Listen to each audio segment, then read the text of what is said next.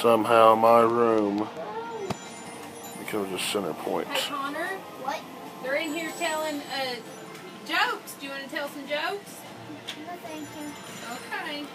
Why It's nice to be able to lay in bed and, and play with stuff. and why couldn't things? why couldn't the pirate crew play poker? Why? Because the captain was standing on deck. That's pretty good. Okay.